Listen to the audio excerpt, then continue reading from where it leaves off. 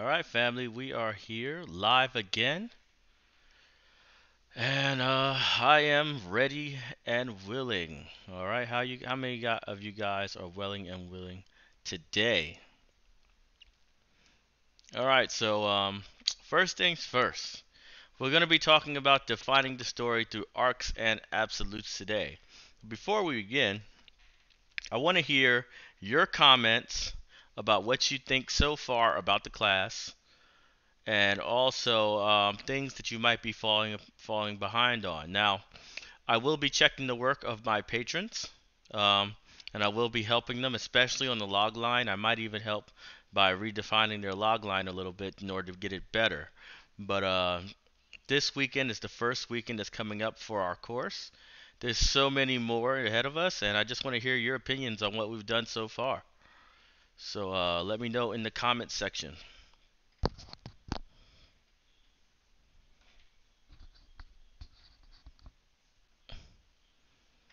Oh, well, um, just let you know about the microphone thing. Um, I think there was a setting that will automatically turn off the microphone after 30 minutes. I didn't know about it though, so I finally like disabled the setting. So I should be fine. Even if it turns off, I will be able to uh, turn it back on. So we'll see what happens. You know? We'll see what happens with that.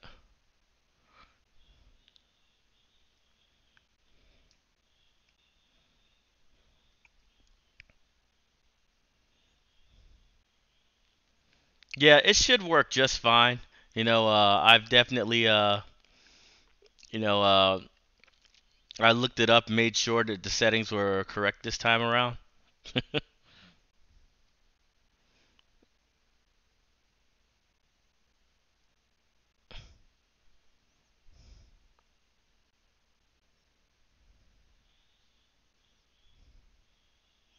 Ah, so a couple of people had a hard time doing the log lines. I can see how that could be a problem, especially if you've never worked on log lines before for your stories, right? like it could really be kind of a daunting task to put everything in two sentences and get it out there. So uh, I am proud of you. A lot of you made some really, really, really good log lines. A lot of you are close, like very close. So uh, I'm definitely excited to see what you're going to be doing further from that. Your summaries. Now, I, I said in um, Discord, because a lot of you guys work in Discord with me, um, I said not to share your summaries in Discord. The reason for that is because your summary is basically your entire story. I don't want you giving all your story away in a public forum because that could be detrimental to your um, to the safety of it. So I definitely decided not to do that. Uh, but um, this time around, we're going to be uh, we're going to be working a lot harder. And uh, this weekend, you got a lot of work to do because this is where you're going to be defining your entire story from front to back. Okay. Now, if you like what's happened so far, please hit that like button under the video so I know that you are in it, you know. And also, uh, if you noticed on the left side, in our comment section under the video, you see the homework assignment for the next class. Now, uh, attendance is down a bit today, probably because I didn't send an email out. I kind of forgot to send emails out for this class, so uh, maybe people didn't um, get the heads up that it's coming up. But it should pick back up uh, as the class continues. Uh, let's get this started right now with uh, the course. Defining the story, arcs and absolutes. By the way, I'm going to stop the class halfway through, give you a little commercial from me, my books and stuff like that. You know, random solicitation. It's fun though, right? Might as well do something while I'm here. so let's begin. Ah, there are two stories in every book, okay? So no matter what story you're writing, right? No matter what story you're writing at all, there are two stories in your book uh, the A story and the B story. All right. So let's go over what the A story is first, and then let's go over what the B story is. So, the A story is a clear goal of a story. So, this is like the overall goal of the story, right?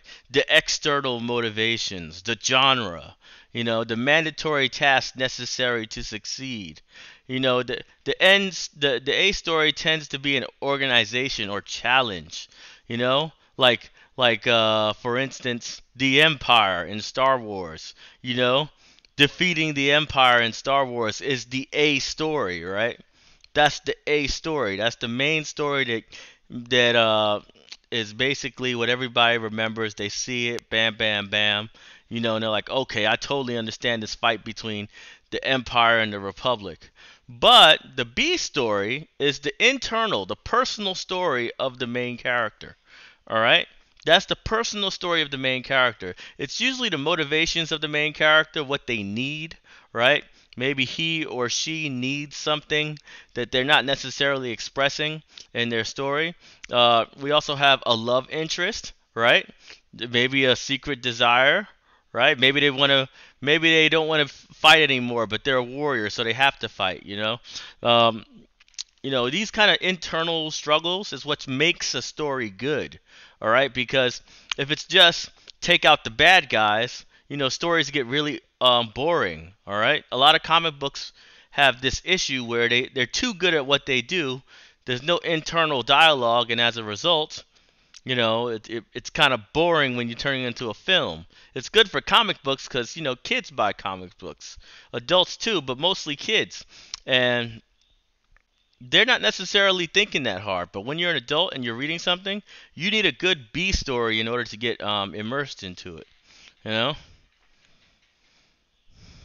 Oh, and by the way, the B story is usually represented by an actual character, all right? So it's a, a person, like maybe a male or a female. That's your B story. That's the person who uh who needs to be in in, in there, all right?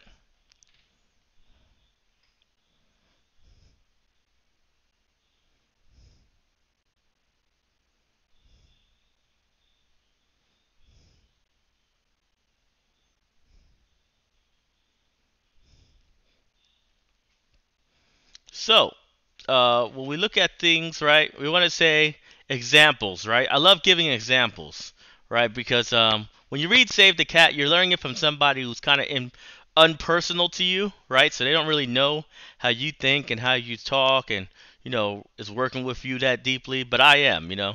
I'm working with you and I want you to understand what I'm talking about when I'm talking about the A story. So here's a few examples, good examples and bad examples. And this will actually help you significantly when it comes to writing your log line, all right? So, oh, I want to write the log line for my story. How should I do that?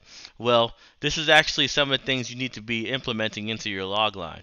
So, good examples would be like uh, finding water and freedom in Mad Max. So in Mad Max, basically, uh, you know, everybody's basically oppressed by someone, right? And water is extremely scarce. So that's your A story.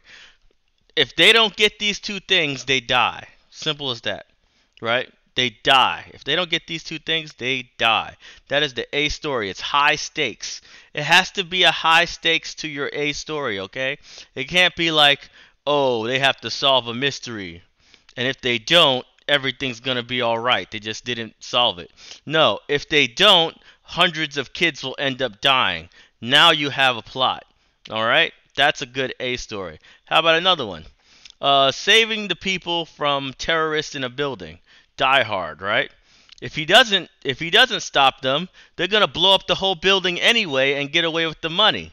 So you see the problem right there? It's like he has to stop them. And as a matter of fact, at the eh, at the beginning of the movie when he's caught in there and he's taking out a couple of terrorists, they don't really say what the stakes are, right? As far as we know, these guys are trying to steal money, but that's it.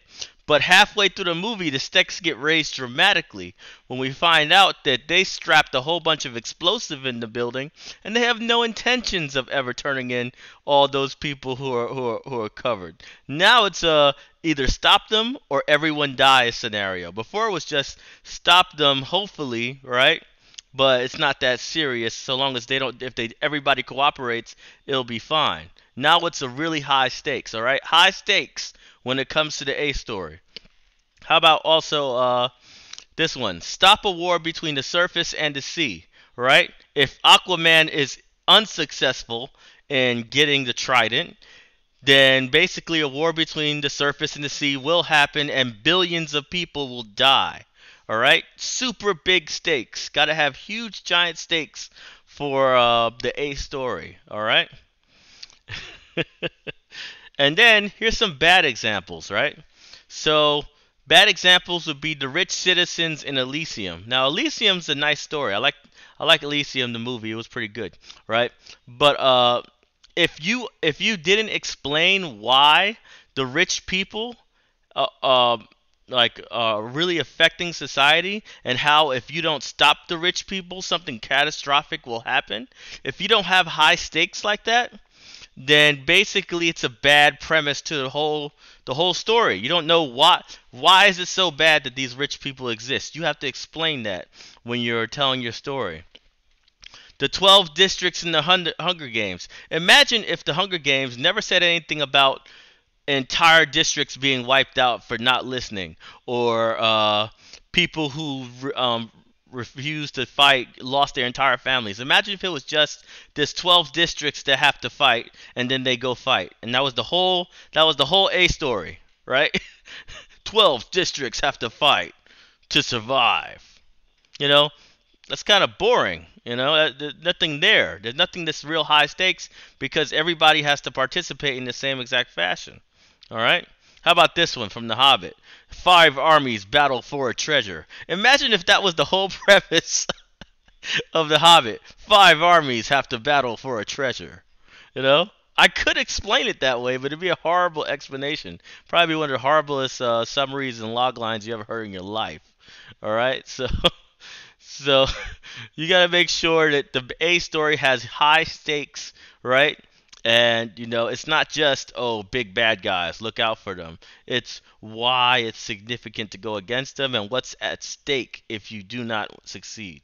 All right? Then we have the B stories.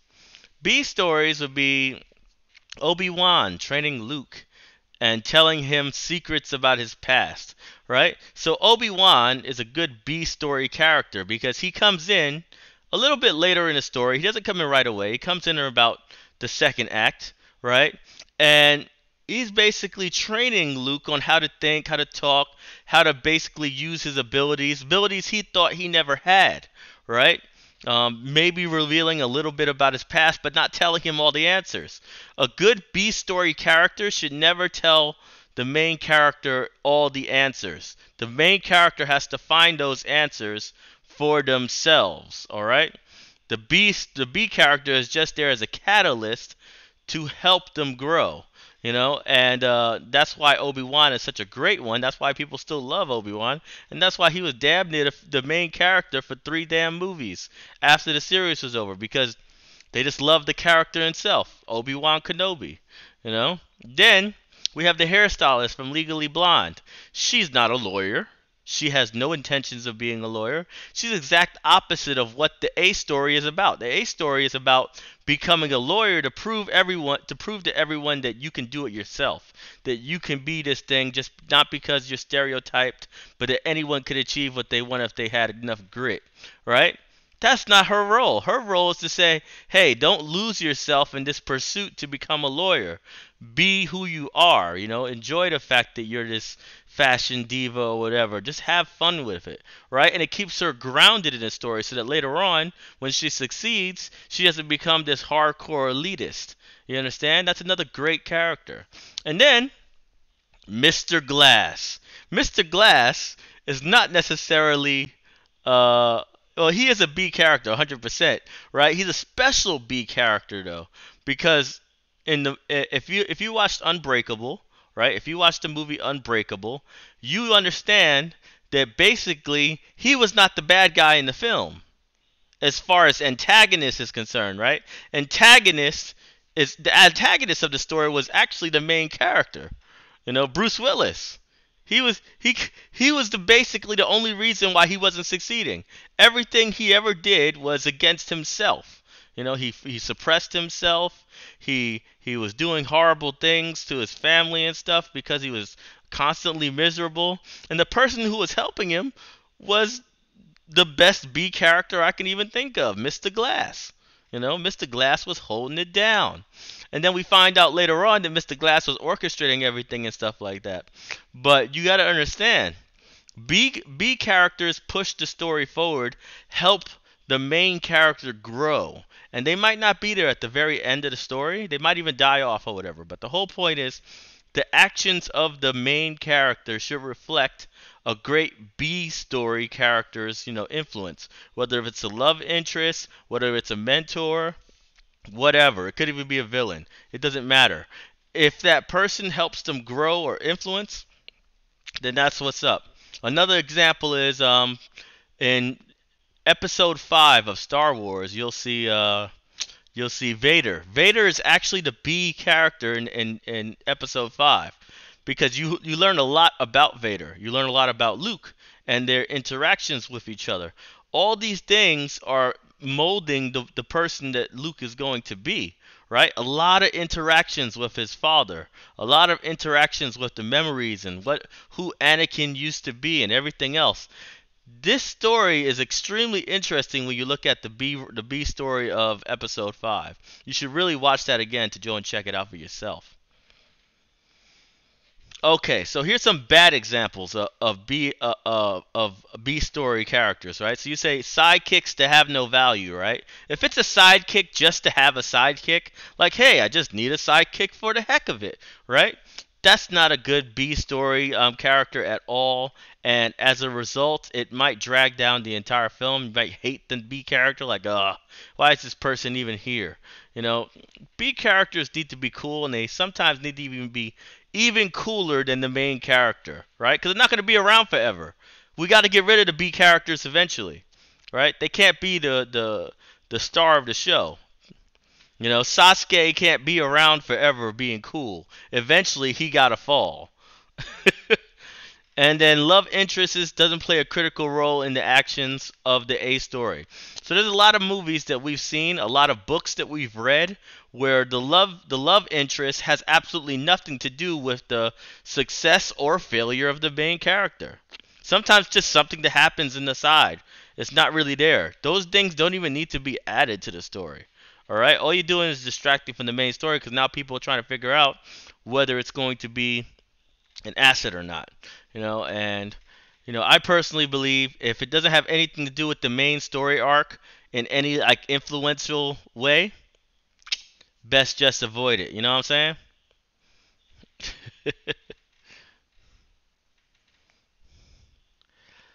So let's see. Let's go to the next part. Uh, before we get here all right i'm gonna take a break for a second and i'm going to talk to you guys about the uh, A story and B story. Please tell me your opinion on what I just said about the A stories and the B stories.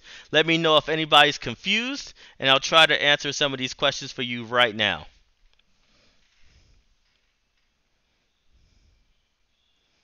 Uh, so Orlandis Hardy says so. In, so a good B story character would be a love interest, childhood friend, slow, slow, slowly changing the MC's view of the world. Absolutely, that would be a great one, right? So that would be a great character. If the character is literally changing the way the main character perceives the world, and perhaps is the reason why they succeed or fail at the end, that is a great B story character. Okay.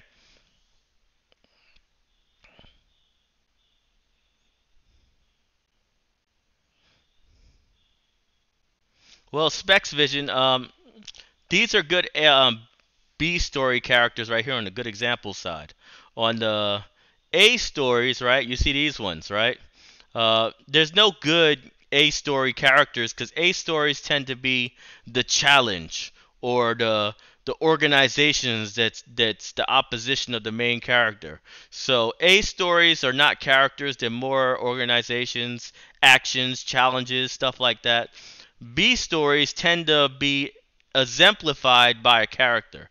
Usually it's like one or two characters. Uh, a good example would be um, in the Hunger Games. You see uh, Peeta, right? Peeta, the guy who does the bread, who's always talking about how we should be good people and we shouldn't play the, the, the people's game or whatever, right? Peeta is a B story character. He basically keeps Katniss from being a hardcore killer lady, right? Katniss becomes nicer and more open to kindness because of Peeta. Okay, so that's another great B story character.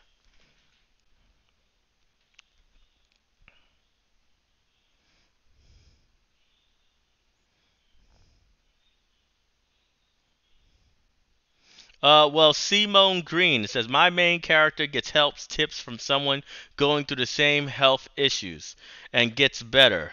Is he a good B story? Well, I don't know what the stakes are. Really, it really depends on um, the the dynamic between the main character and the ultimate challenge. Right? There's a challenge on one side, and there's your main character on the other. If your B character helps your main character get to defeat the challenge when without that B character they wouldn't be able to defeat that challenge then that's a good B character. But as you stated right there I have no um, I can't really tell if it's a good B character or not.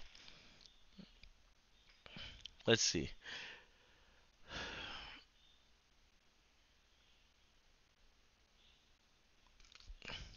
So if a B story character is secretly the one who makes the master plan go in motion, what would make him a good B character?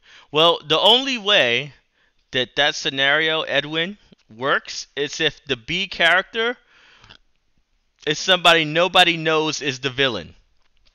Right? Or or the master, right? Sometimes so what you're saying is they're the mastermind of this entire thing. If that's the case, no one can know that, all right? You have to do everything in your power to make sure no one knows that they're the one who basically um, did everything, all right? Because if they did, and we know that already, then we change our perspective of that character. Kind of spoils the story for us. So we have to hide the fact that that person's the person who basically did everything.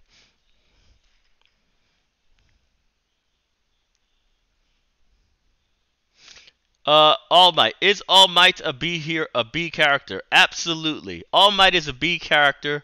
Um, he is not the main character of My Hero Academia. He is there to mentor people. He's there to change people, and and whenever he's about to go and do something to save them, everybody tells him don't do that. They need to learn on their own.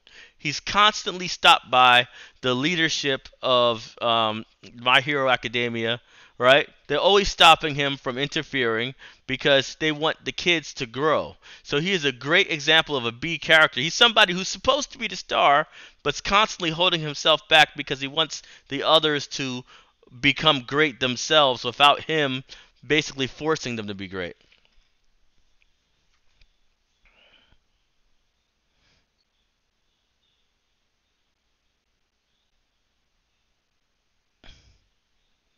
Yes, um, Miles Davis has a great um, statement that's actually a good example. It says, So, in the A story, the stakes should be high. The stakes should be catastrophically high.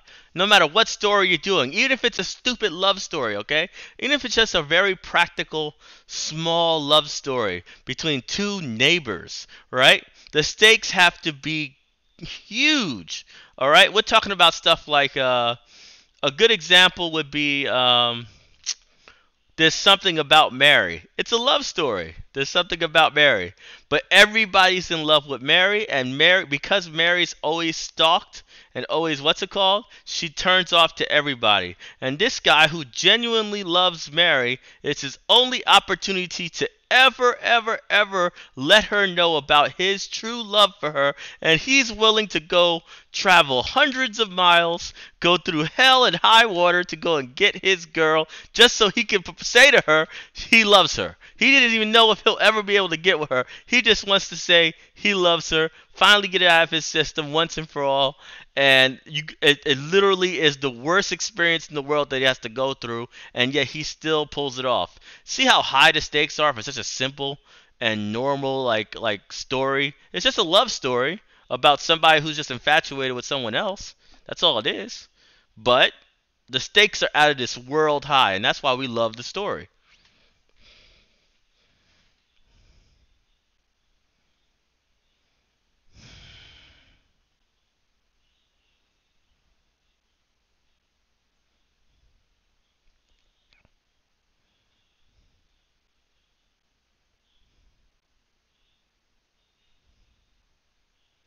Okay, so Guts Matterson has a question, and it's a pretty good one. Why is it that the A story you're describing plot, while in the B story you're describing character? Those two are important, but they are separate. He said, well, the, the bottom line is this the B story is personal. All right? This is a personal thing. This is not something that external forces can change. All right?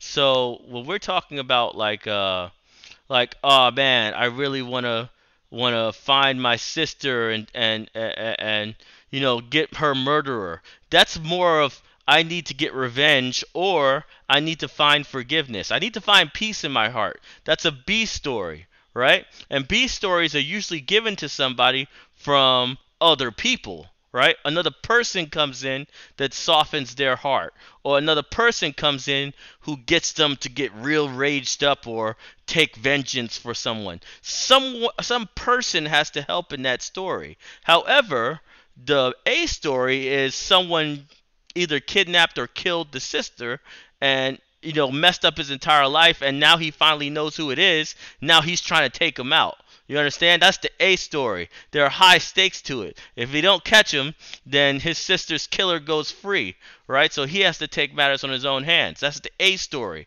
That's the whole plot of the entire story but the B story is his own personal needs, whether it's vengeance or it's forgiveness. Somebody else, most likely a person, is going to help him with that. It's not going to be the task, it's not going to be the organizations he's around. It's going to be an actual person most of the time.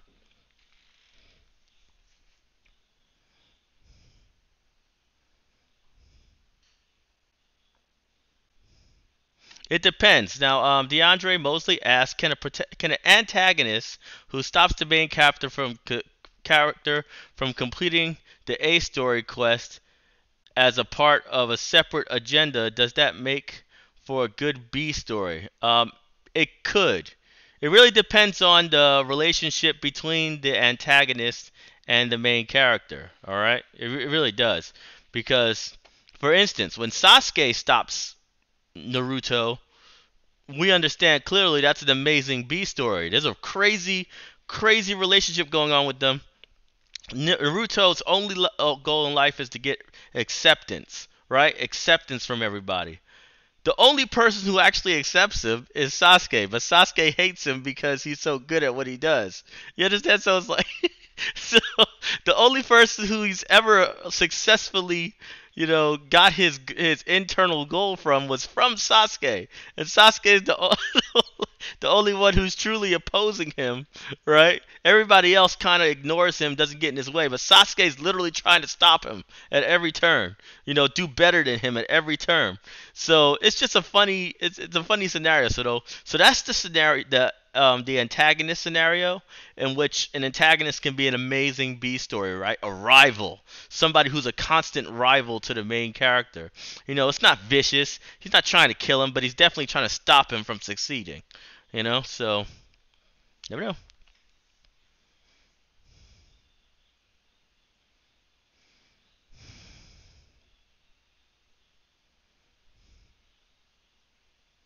All right, so I am moving forward. Uh, before I do, let's go and watch this video. So a lot, um, I think a lot of you don't actually know Manuel Godoy. You know me. You don't really know me yet. So uh, I am an author. I uh, I do write a lot of books. Uh, my best one, Black Sands. You know, it has an amazing book uh, for it called Black Sands Seven Kingdoms, the Ultimate Edition. It has three comic books in it, and I wanted to show you um, one thing from that before we begin. So let's go in here. Let's go bring my screen up. And let's just show you this real quick.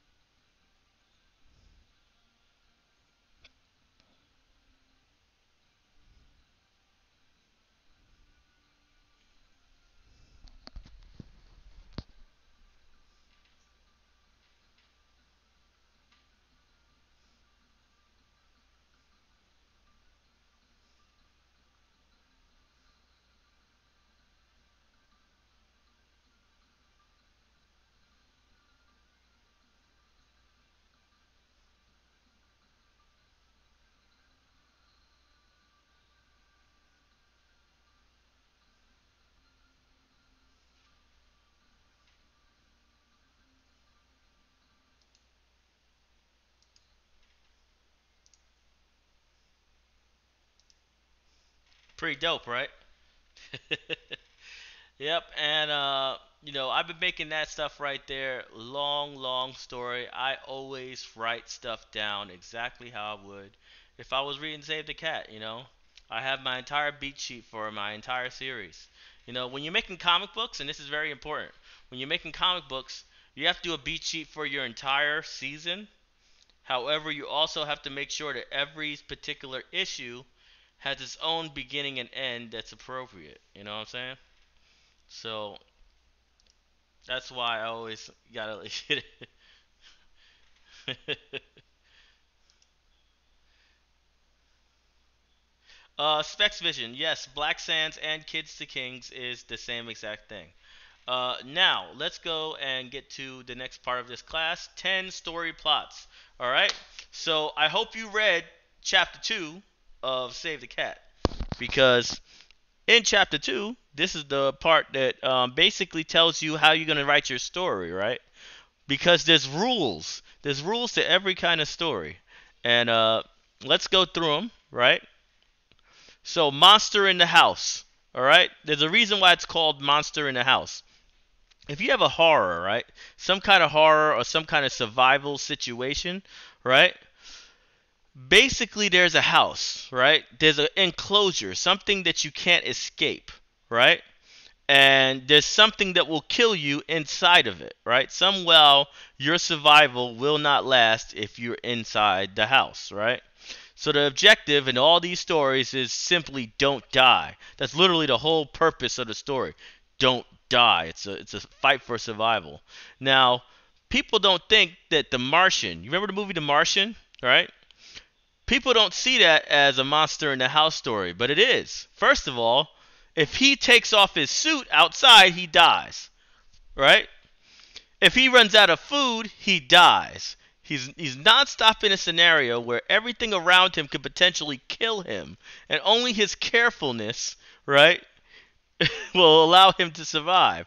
And the stakes have to constantly be raised throughout the story. For instance, he figures everything out. Everything's going good. And then guess what? Everything falls apart. Food food supply gets wiped out in one day. Now he has barely enough food to survive, right? He has to travel X amount of distance. His ship can't fly in the air. There's so many extra factors going in there to make it where basically most people would just roll over and die. But this guy's not nobody would see that as uh, basically a monster movie, but it is. Jaws is another one. Yeah, the one with Matt Damon. Jaws is another one. It's the exact same storyline as as freaking um what's it called? There's a monster. The monster is the wa- is the shark. The room is water, all right? You basically can't get out the water. You can't get to land. So you're stuck out there in the water on a boat or whatever, and you you can't get out. You can't get out of the house. The house is the whole entra- entrapment of the water, and the shark is there just to raise the stakes. You understand? He's already a bad situation, but now the shark's there. The waters, ships are going down.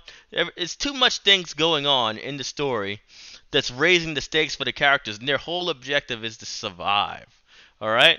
It's a very carnal, carnal um, style of writing something that I hope a couple of you guys are taking on because horror is always good, right? Let's see what else. Um, out of the bottle, all right. This requires a wish, right? So something like uh, uh, what was it? Uh, Bruce Almighty. Bruce Almighty is a good example of this, right? Liar, liar. You know, these tend to be comedies, right? Because people wish for things that they think they want and then it never shows up that way, right? That's that kind of story. You know, wishes are fulfilled, but the wish tends to not be something they truly wanted and instead they go for something else in the end. Whydunit? This is mystery stories, okay? Mystery story. Castaway was a great one too when we're talking about Monster in the House. Castaway is also one of those survivals, survival stories. Whydunit, right? Now, whydunit is basically mystery, right? It's it's the why. Why did someone do this, right? That drives the main character crazy. All right? The main character has to figure out why. Otherwise, they're not going to be able to live with themselves or something terrible is going to happen. These stories tend to have a whole bunch of conspiracies in them. Nothing is very clear. You know, um, everybody's everybody looks like they're suspicious.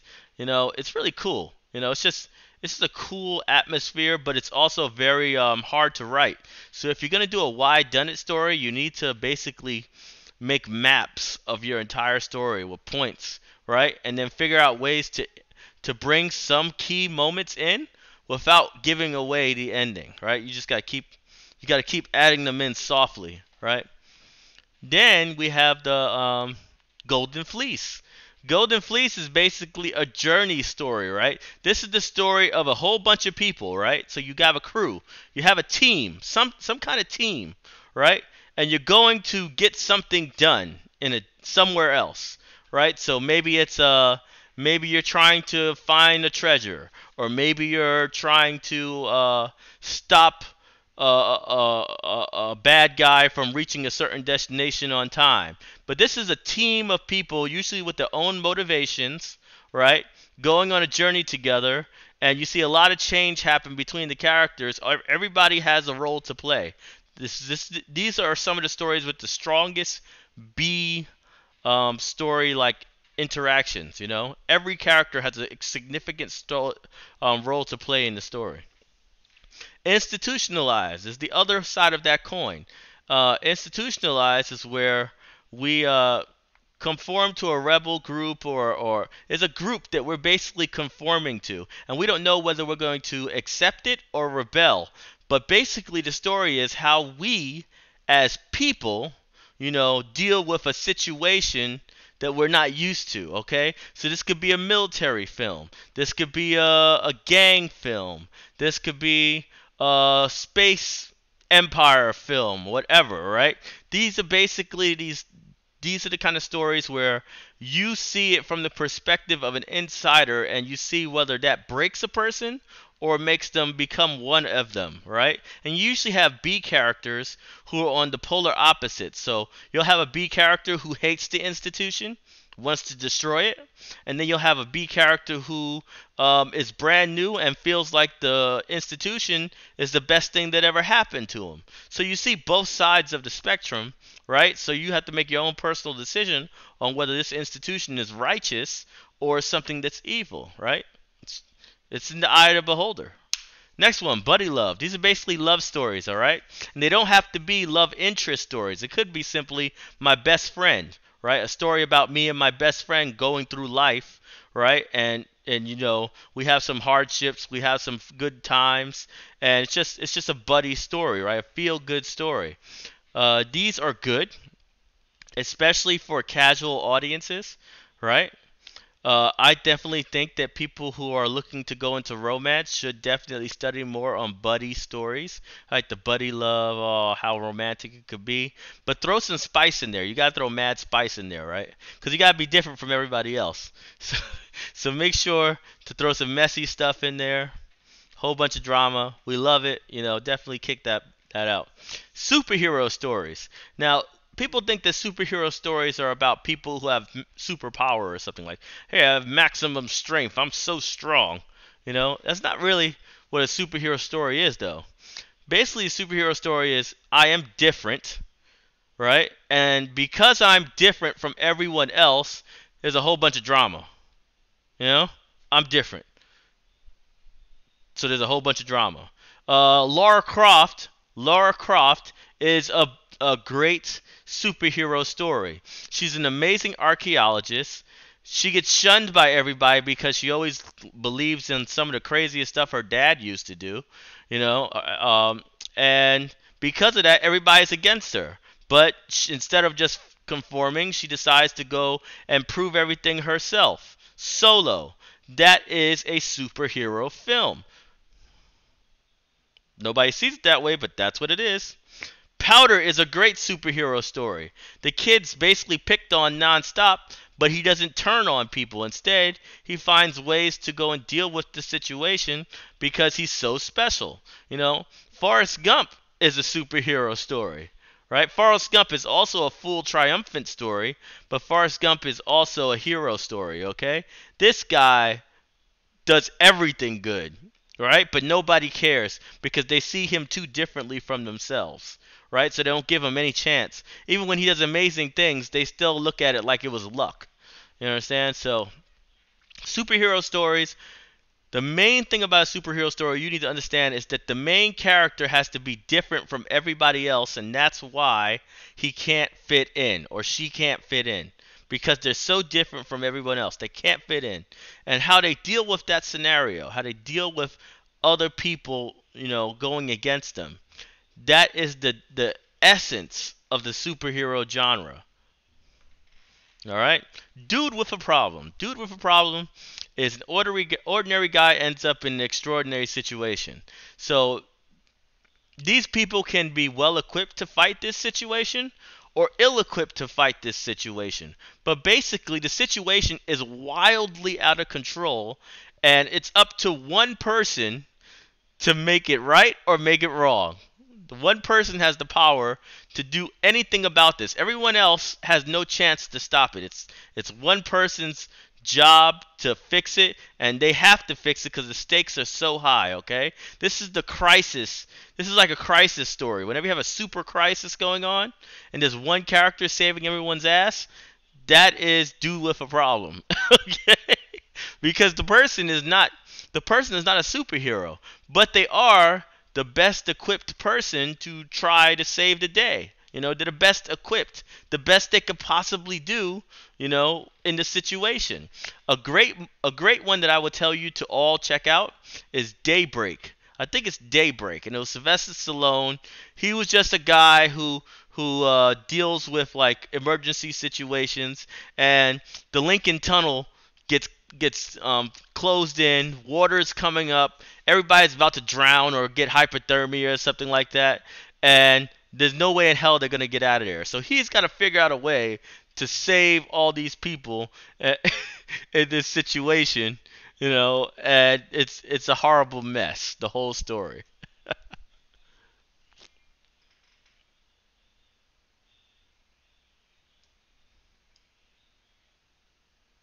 Oh, okay. So somebody wants to see the last couple of words. I'm seeing someone told me to move my image, so I'll move it. Let's see. Uh, boom.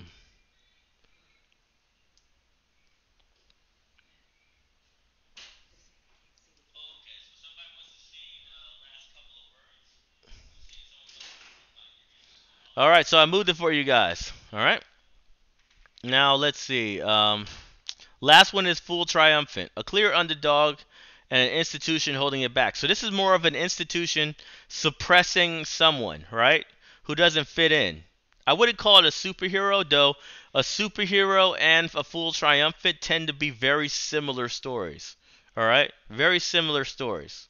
So uh, I'll just say this: full triumphant tends to be a little bit less equipped than a superhero when it comes to the same story, though. Yeah, Armageddon's a great example. Armageddon, Armageddon has two things going on for it, right? Armageddon and, and just let you know, just let you know, this is very important. When you're making your summary, right? And I told you over the last homework, I said pick a genre that's most like your story. Some of you guys were saying, hey, there's like eight different categories that fit my story. There isn't, all right?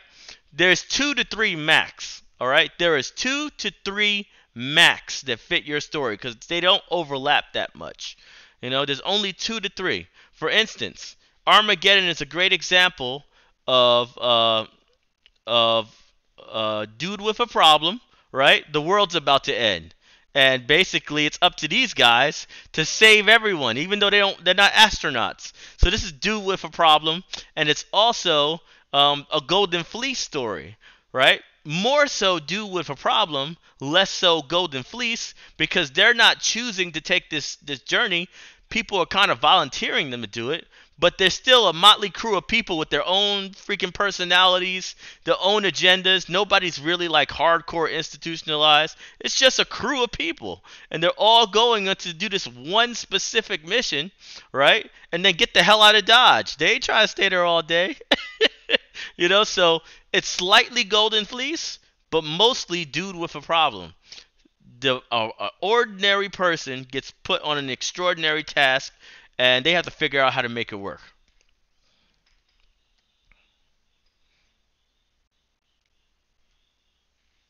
All right, so let's move on. So we're going to the beat sheet. All right, the beat sheet in Save the Cat and many other books of on writing. The theme and the beat sheet is present. All right, it's basically the super summary of your book. Has uh, many parts to it. Let me go and pull that down so I'm not blocking anything. Uh, well, has many parts to it, and uh,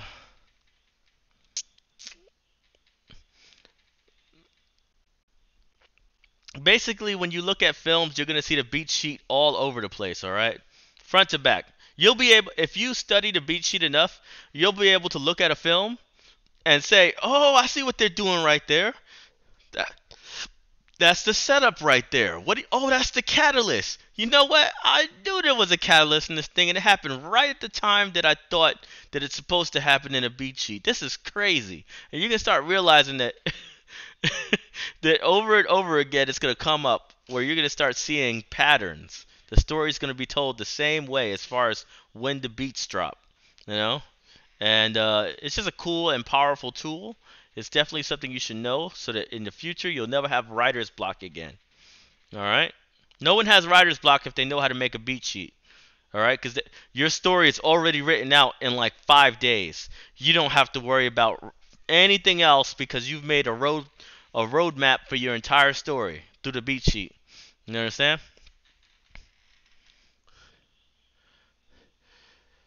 So, with that being said, let's talk about the homework. All right. Uh, what I am assigning you right now, and the homework is right there at the bottom, right?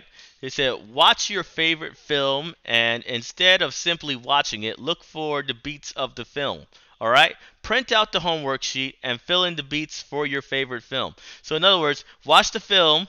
The second you see something that, that from Save the Cat this for the beats, try to catch them all. Catch every single beat and write one sentence that explains what that beat was in your favorite film. All right.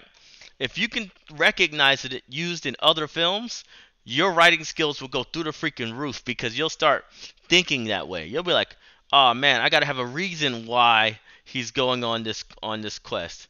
You know, I have I have to have a reason why my character is is hesitating to go. Right? There has to be some kind of hesitation Otherwise, what's the big change in his life? He has to be a reluctant hero. He can't be somebody who's like, I'm going to do it automatically. You know? What's the My Hero Academia? Everybody loves My Hero Academia because of the character development, right? Well, what's the main thing about the main character? He wants to be the greatest hero in the world, but in the first two seasons, he was punking out every five seconds. He was scared. He didn't know what to do. He always was fearful, hesitating that's important to put in there for the growth of the character right the character has to grow they have to they have to be the reluctant hero they can't just be the guy who's knocking stuff out instantly hey do willy wonka do willy wonka in the chocolate factory it's perfect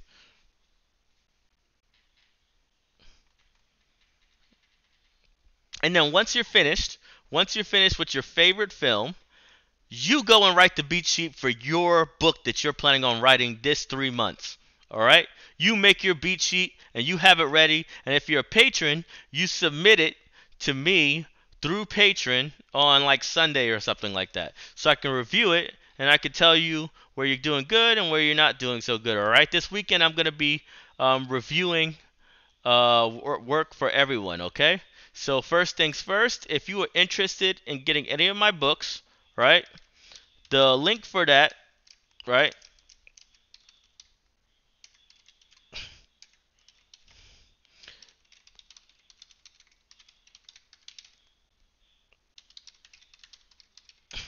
Is that. So this one right here, that one that I just put up in the comments, that is for my official store, all right? So if you want to get my books, let me know and I'll definitely hook you up with that.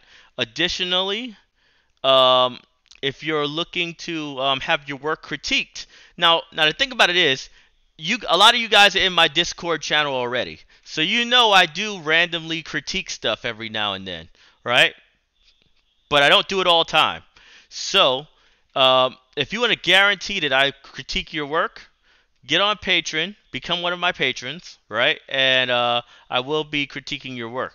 Additionally, um, we will have random conversation in Discord every now and then where everybody can call in, right?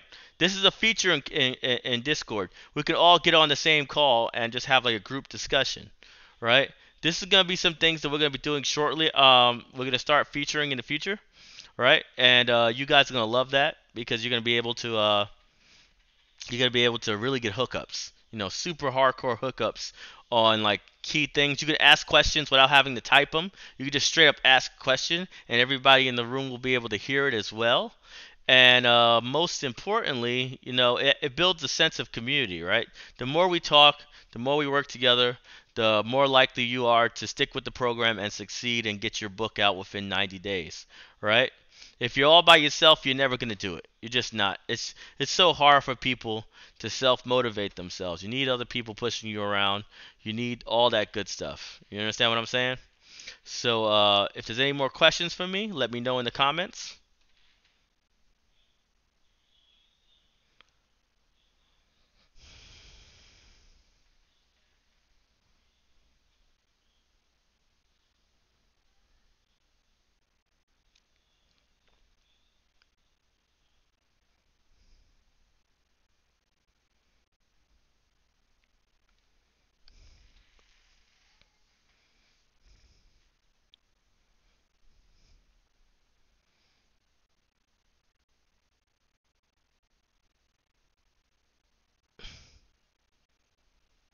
Oh yeah, um,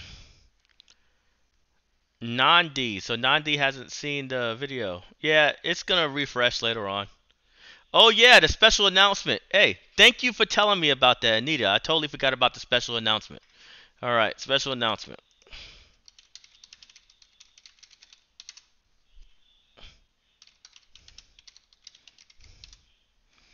All right, the reason why I'm typing it is because uh, typing goes faster than me actually saying on the screen. It's like a about a 30 second delay. But basically, um, for the special announcement is this: at the end of the course, if anybody finishes their publishing, right? If they publish their book within 90 days, right? I'm gonna let the audience, which is the people who have taken the class, review the books and which the top three books, the top three books uh, for this class period, right? This entire 90 days, will receive a special package where they will be able to um, come to one of our major shows. So we do a lot of major shows around the East Coast, right? Huge shows. C2E2, New York Comic Con, you know, Anime Boston, all big giant shows, right? And uh, you can actually come out to one of these big shows, right, with your book, sell your book in our booth, but also learn directly from us in action. You get to see how you need to present yourself.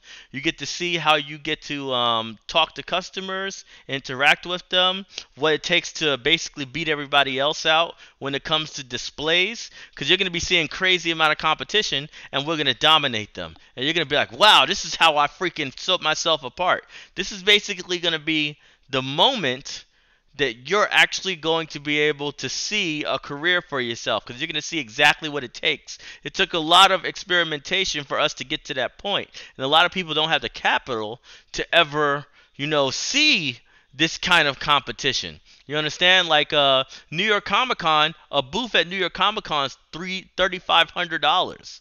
All right, who's gonna put thirty five hundred dollars to see if they're competing with other people? No way you would do that. Not right now, not in your current state.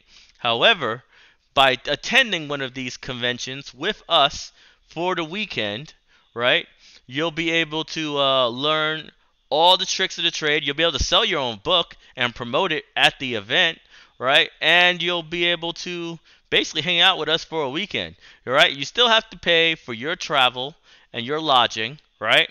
But you won't have to pay for the for the the badge or access to the con because we're gonna pay for that. And uh, you should only go for the ones that are near you. All right. If you're on the West Coast, I guarantee. I mean, if you're on the East Coast, I guarantee you we're at a con somewhere near you eventually. All right. Because we go all the way to Florida, Atlanta, the mid. He said we're going to freaking Baltimore. We're going to New York. We're going to freaking Chicago. There's so many opportunities to catch us in in person, you know. And you pick one of those events if you're one of the top three uh, um, releases from our course. So that's pretty hardcore.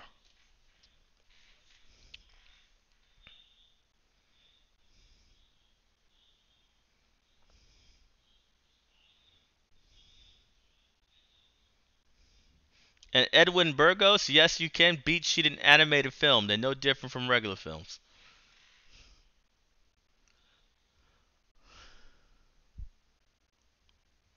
Oh, so just let you know, the B story is not necessarily addressed in the beat sheet. So this is something you should probably mention in your beat sheet, like when you're bringing out, you know, the B story. It does say it in the beat sheet. It does say, like when you look at the breakdown in the book of Save the Cat, you'll see an area where it starts talking about where the B story begins. So there is a point where the B story begins, right? But uh, it's not necessarily covered in the actual beats.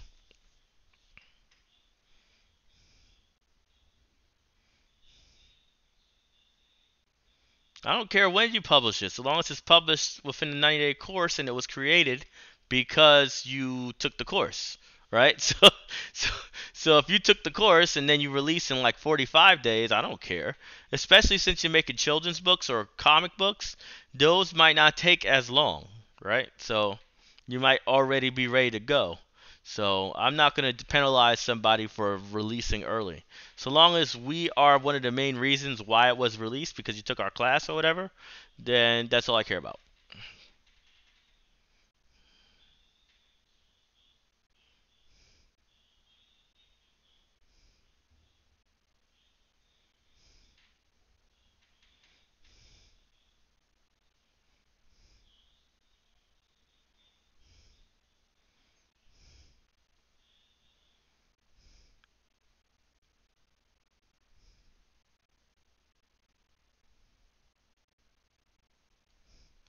Well, um, Guts Masterson, what I'm going to do is I'm probably going to make a landing page for the course. That way, everybody can get all the information regarding what the course is, the incentives at the end of the course, and also um, other things like the Discord channel, you know, the um, the notifications. By the way, everybody here has us on notifications, right? You you hit that little bell so you never miss a class, right? Uh, that's very important.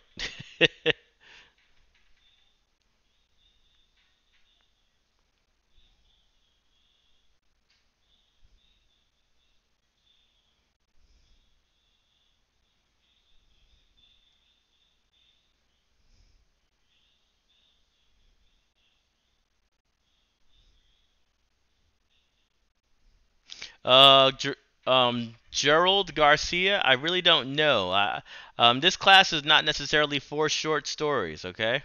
This class is for full-fledged stories, like the entire story from beginning to end. So I don't know if you want to do a series of short stories.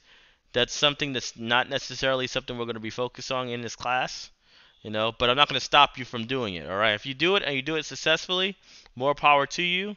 It won't work against you. Okay.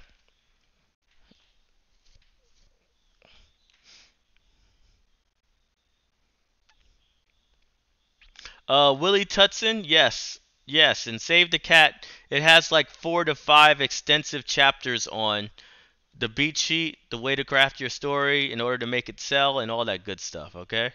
My class is basically to try to explain if people already read chapter two, try to make it a little bit more attainable to them, right? Because basically, I'm trying to teach you guys the principles of a book that should take you six months to study I'm trying to get you to learn it as fast as possible so that you can start crafting your book.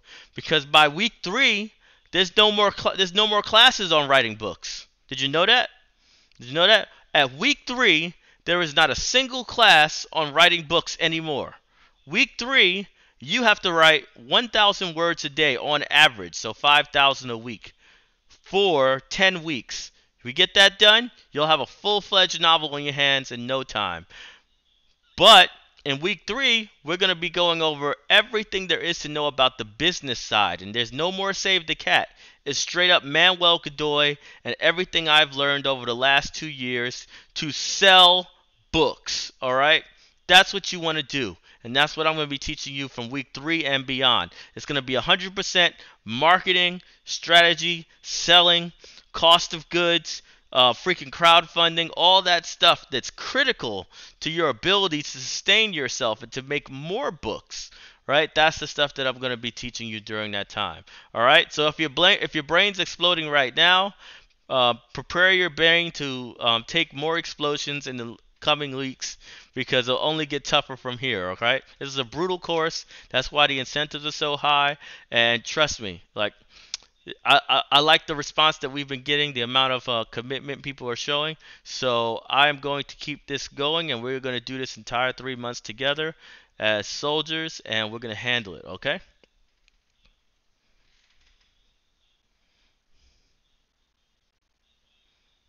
And cool tools random videos, um, yes. You will be selling your book if you are selected as the top three students. You will be able to sell your books at the convention.